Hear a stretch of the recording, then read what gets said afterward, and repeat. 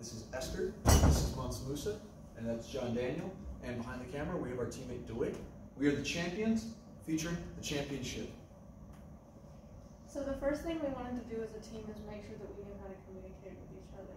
Our main form of, of communication was texting and emailing, and once we had established that we were going to communicate that way daily, the way that we organized ourselves was through an electric group document. Our budget was flexible, and it was really up to each individual team member how much they wanted to spend. And then our schedule is pictured on the left, and it has a list of each of the meetings that we have conducted throughout the creation of our canoe.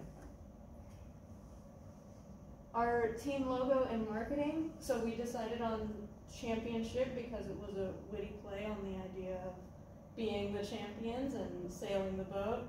And then the champion's name, which is our team name, uh, we came up with based off of the boat name the boat name ended up creating the theme for the rest of the project. Our logo is a chalice because we thought that it fit the theme as well, and the ribbon solidifies the idea of winning. Construction and engineering. So uh, we ran through multiple design choices. Uh, we had quite a few uh, preliminary meetings deciding how we wanted to tackle this. And our first design was initially a uh, rectangular prism. It was just a box. We felt that that gave us the best stability, the best buoyancy. And uh, little by little, we began to edit it until we had uh, one major change where uh, we ended up taking the entire front and angling it so that it had a skiff front and then adding beams across to give it support to the walls.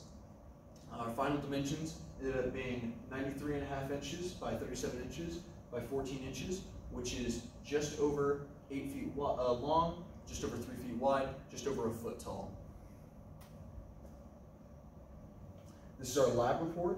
Uh, so for this project, we had to conduct an experiment, and we decided to test the uh, how duct tape performed when attached to cardboard in extreme weather. And we simulated that by keeping them in water for uh, extended periods of time, and we were able to determine uh, best brand of duct tape and how best we could use it. Okay, continue testing. We ran through multiple tests on the canoe through water scenario uh, and a weight test as well, pictured here.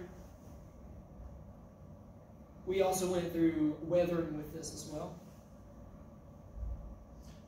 This was our initial test for our first uh, draft of the, the boat. We wanted to see just how much this uh, very rough build could hold and I'm about 190 pounds, and it was able to carry me pretty easily and stayed well above the water. This test solidified that our base, uh, the base that we had come up with, was going to work very well for the build.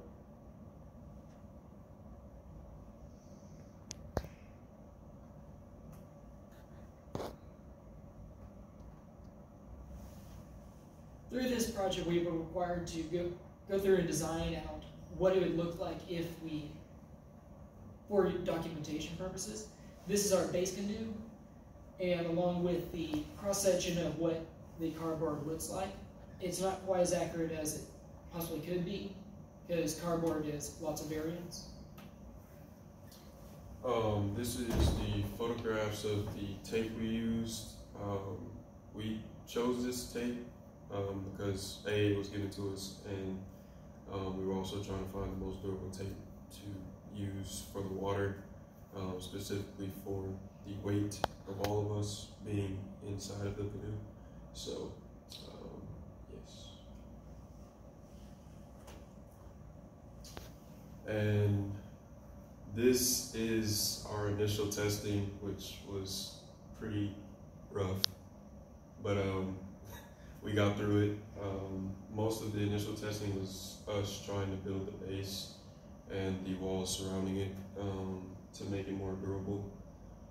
Um, and this is our original design, how we had finished it. It was uh, just a pure rectangular prism as opposed to our final design, which as you see has the cross-sectional beams there and then a lifted front to help us go through the water easier. Thank you very much.